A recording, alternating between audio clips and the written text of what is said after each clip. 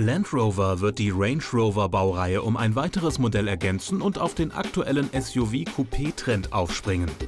Die Briten nutzen für ihr SUV-Coupé die ADO-Plattform des Jaguar F-Pace. Auf den ersten Erlkönig-Bildern sind die nach hinten abfallende Dachlinie und die flachstehende Heckscheibe gut zu erkennen. Damit darunter auch Passagiere komfortabel Platz finden, dürfte die optionale dritte Sitzreihe des Range Rover Sport beim Coupé nicht mehr erhältlich sein.